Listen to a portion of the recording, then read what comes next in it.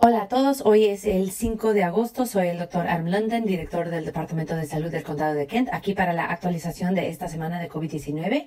Aquí en el condado de Kent, a partir de hoy, tenemos 6.645 casos diagnosticados de COVID-19. Eso es alrededor de 50 casos por día, como un promedio de la semana pasada.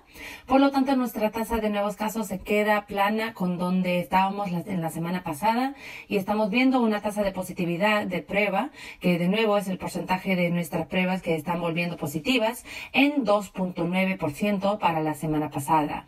Eso es bueno. Todavía nos mantenemos por debajo del 3% y nos mantenemos mucho más bajo que la mayoría del resto del estado. Así que eso es muy prometedor. Estamos en 5.204 recuperaciones a partir de hoy y estamos en 149 muertes. Y ese es un número que se ha quedado plano durante la semana pasada. Aquí así que estamos muy agradecidos de que no hayamos visto muchas muertes nuevas en la última semana unas personas están señalando esa baja tasa de mortalidad como evidencia de que esto no es un gran problema. Lo veo como evidencia de que lo que estamos haciendo está funcionando y que al mantener nuestros hospitales en buena forma y al mantener la transmisión lo más bajo posible, estamos poniendo a todos en un buen lugar para recuperarse de eso y estamos previniendo superpuntos calientes en nuestro condado que hemos visto en otros lugares conducen a un exceso de sufrimiento y muerte. Así que hoy quiero hablar un poco sobre el estigma y algunos errores que estoy escuchando en la comunidad. Estoy oyendo que las personas que se han recuperado de COVID-19 completamente recuperados todavía están siendo estigmatizados por algunos.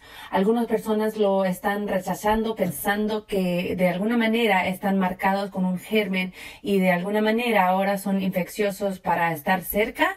Y la realidad con estas personas que se han recuperado completamente es que probablemente hemos propenso a contraer la infección de ellos, ya que usted es la persona al azar en la calle. Así que seamos conscientes de eso y hagamos lo que podamos para evitar estigmatizar a las personas que se han recuperado de COVID-19. Otros grupos de los que estamos escuchando con estigma son grupos que han tenido tasas de gravedad más altas o han sido afectados proporcionadamente por esta pandemia. Estamos escuchando sobre el estigma hacia las personas de herencia asiática, las personas que identifican como latinex y las personas que identifican como afroamericanos. Y aunque esas poblaciones en muchos casos han visto síntomas más graves, eso no es porque sean más susceptibles a la infección es debido a otros factores estresantes en su entorno. En muchos casos, la falta de acceso de atención médica que ha llevado a los síntomas más graves. Es igual de probable que recoja este virus de la persona promedio de nuevo en la calle, que usted es una persona de cualquier herencia racial o étnica.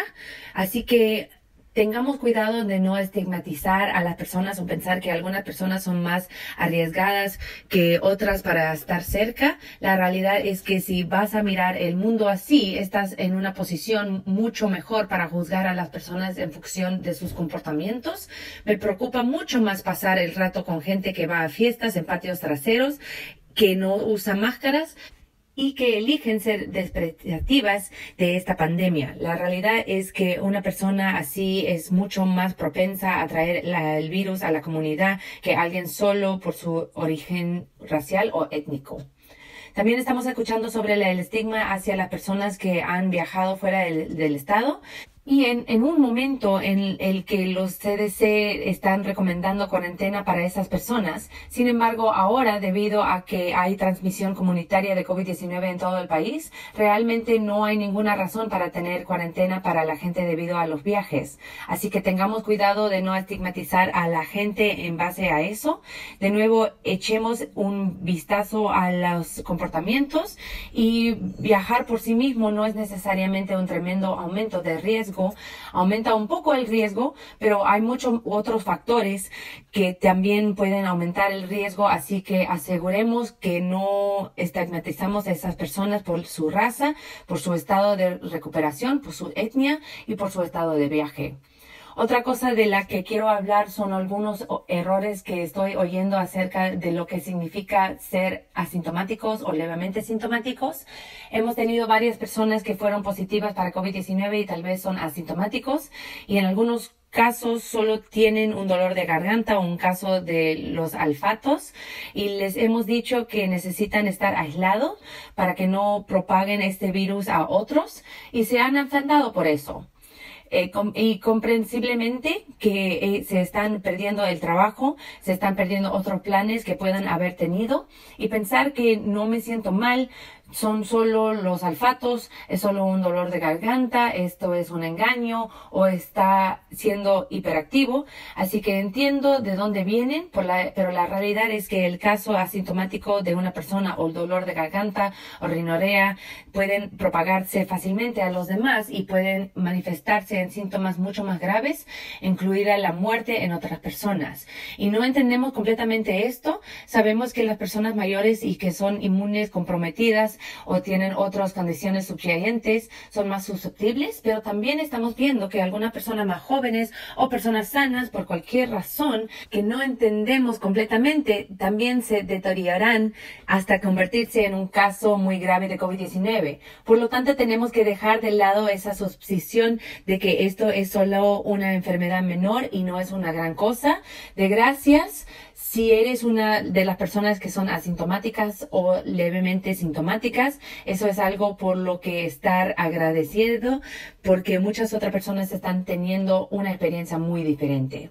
Así que la ventaja aquí es que tenemos que seguir siendo positivos y eso es importante para aquellas personas que se ven molestadas por esto de muchas maneras. Tenemos que seguir siendo heroicos y es heroico permanecer en cuarentena y aislamiento, usar máscaras que sean incómodas, hacer el distanciamiento social, renunciar a muchas de las fiestas y eventos que usted puede haber estado esperando.